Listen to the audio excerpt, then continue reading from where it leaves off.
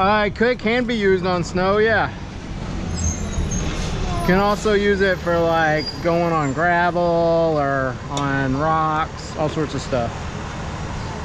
Where do you just go? I just came from home um, on the trail because uh, my bike uh, is in the shop right now. Whoa, how do you get this? Whose camera is this? It's my camera. Uh, yeah, I mean, I uh, it's mostly for safety, like on the roads and stuff, so people like pull in front of you and stuff. But uh,